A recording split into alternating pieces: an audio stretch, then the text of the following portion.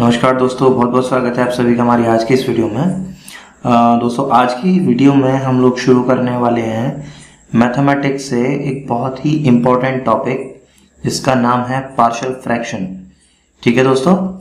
अब partial fractions होते क्या हैं पहले हम लोग ये जानेंगे।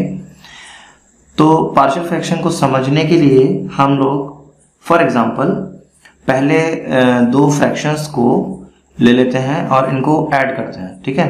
मान लीजिए मेरे पास एक फ्रैक्शन है two upon x minus two plus three upon x plus one इन दोनों फ्रैक्शंस को जब हम ऐड करते हैं तो हमें रिज़ल्ट मिलता है five x minus four upon x square minus x minus two अब समझ लेते हैं कि रिज़ल्ट हमें किस तरह से मिला होगा। सबसे पहले हमने दोनों फ्रैक्शंस को ऐड किया इन दोनों फ्रैक्शंस का। दैट इज़ इन दोनों फ्रैक्शंस के जो डिनोमिनेटर है, उनका एल्शियम ले लिया। ठीक है? नाउ इसको हम मल्टीप्लाई करेंगे x प्लस वन को टू में एंड थ्री का मल्टीप्लाई हम करेंगे x माइनस टू में राइट और आगे इनको सॉल्व करेंगे। सॉल्व करने पे फाइनली हमें एक रिज़ल्ट मिल जाएगा।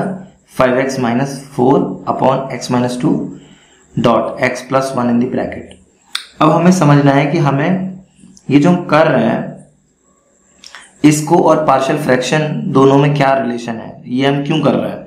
देखिए, मानिए मैं आपसे कहता हूँ कि आप five x minus four upon x minus two dot x plus one ये जो रिज़ल्ट है, इसको ब्रेक कीजिए वापस से और वही तो ओरिजिनल फ्रैक्शंस में इसको ब्रेक कीजिए, जिन फ्रैक्शंस को ऐड करने पर मुझे रिज़ल्ट मिला है। यानी मैं बात कर रहा हूँ two upon x minus two plus three upon x plus one मुझे दोनों फ्रैक्शंस चाहिए अपने रिज़ल्ट से।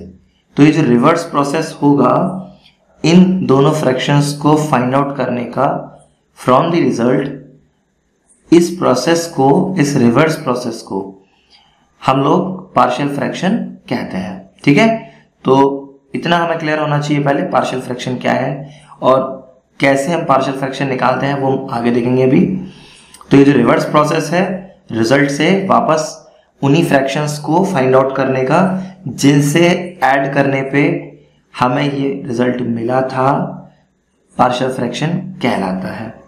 चलिए ठीक है तो इसकी डेफिनेशन हो जाएगी। The reverse process of obtaining the original fractions from the result is called partial fraction अब हम ये प्रोसेस कैसे कैसे हम इस रिज़ल्ट से इन दोनों फ्रैक्शंस को फाइंड आउट करेंगे, वो देखते हैं। ठीक है? तो हमारा जो रिज़ल्ट था, वो था five x minus four upon x minus two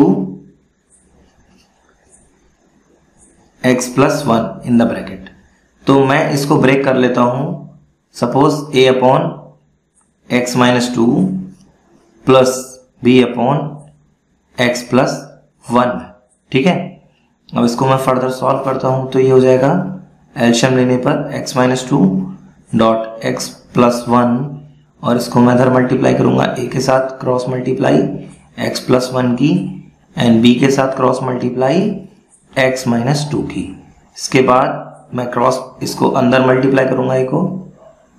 तो ये हो जाएगा A x plus A and ये हो जाएगा B x minus two B upon x minus two x plus one और ये रिज़ल्ट किसके बराबर होगा? X five x minus four upon x minus two and x plus one तो आप ध्यान से देखेंगे, ये कैंसिल आउट कर देगा इसको, और फाइनली जो मेरे पास रिज़ल्ट रहेगा आर एच एस में, यानी कि राइट हैंड साइड में, वो रहेगा ए प्लस बी एक्स अगर मैं एक्स के टर्म्स को एक साथ लिख रहा हूँ, ठीक है? Plus A minus two B ये मेरे कांस्टेंट टर्म्स हैं, ठीक है? अभी मैं क्या करने वाला हूँ, दोनों तरफ़ के जो कॉफिशेंट्स हैं, उनको मैं कंपेयर करने वाला हूँ, ठीक है? तो comparing coefficients of both sides.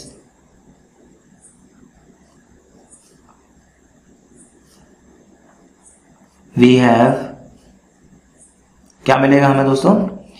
हम इधर देखेंगे कि a प्लस बी ये हमारे पास में है, इधर x का कॉफिशिएंट है, इधर x का कॉफिशिएंट है फाइव तो मान ले रहे हैं कि इक्वेशन वन है। एंड इधर हम देख रहे हैं कि कांस्टेंट टर्म है हमारे पास, a माइनस टू बी और इधर हमारा कांस्टेंट टर्म है माइनस फोर इसे हम मान ले रहे हैं इक्वेशन टू मैं क्या करने वाला हूँ? दोनों इक्वेशंस को माइनस कर दे रहा हूँ। इक्वेशन वन से इक्वेशन टू को। तो equation one minus equation two में कर दे रहा हूँ। तो माइनस प्लस प्लस तो ए मेरा कैंसिल हो जाएगा। तो ये क्या हो जाएगा मेरे पास? Three B equal to nine and three से नाइन को कैंसिल आउट करेंगे तो थ्री थ्री जा नाइन तो बी की वैल्यू मुझे क्या मिली? नाइन अब मैं क्या करने वाला हूँ? बी की वैल्यू को मैं इक्वेशन वन में प्लेस करूँगा वापस से। तो क्या हो जाएगा मेरे पास? A plus B equal to five था। अब मैं यहाँ पे अगर बी की वैल्यू लगा दूँ, यानी प्लेस कर दूँ तो मेरे को ए की वैल्यू मिल जाएगी कितनी? टू तो अब ध्यान से देखेंगे, हमारे पास हमने five x minus four upon x minus two and x plus one को ब्रेक किया था किसमें? A upon x minus two plus B upon x plus one में, ठीक है?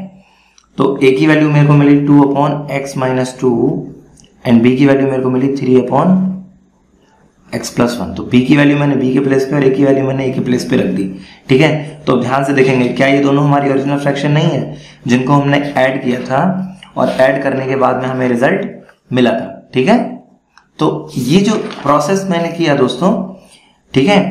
रिज़ल्ट से ओरिजिनल फ्रैक्शंस को फाइंड आउट करने का इसी प्रोसेस को हम लोग कहते हैं पार्शियल फ्रैक्शन अब पार्शियल फ्रैक्शन की ज़रूरत हमें कई जगह पड़ेगी, ठीक है? एक एप्लीकेशन तो यही है कि हम रिज़ल्ट से अपने ओरिजिनल फ्रैक्शन फाइंड आउट करना चाह रहे हैं। दूसरी बात यह है कि जब हम इंटीग्रेशन करते हैं विद क्लास ट्वेल्थ में हम इंटीग्रेशन कर रहे हैं प्लस टू के स्टूडेंट हैं, हम वहाँ इंटीग्रेशन कर रहे हैं या फिर हायर क्लासेस में हम कहीं भी इंटीग्रेशन कर रहे हैं। तो जब भी हम इंटीग्रेशन करेंगे तो बहुत बार हमें पार्शियल फ्रैक्शन की हेल्प लेनी पड़ेगी। बिना पार्शियल फ्रैक्शन के हम इंटीग्रेशन नहीं कर पाएँगे। ठीक है? तो एक कॉन्सेप्ट हमें क्लियर होना चाहिए। ये जो हमने अभी किया है, ये सिर्फ़ बेसिक्स है। ठीक है? पार्शियल फ्रैक्शंस के और भी बहुत सारे केसेस हैं। उन केसेस को मैं आपके साथ नेक्स्ट वीडियोस में डिस्कस करूँगा।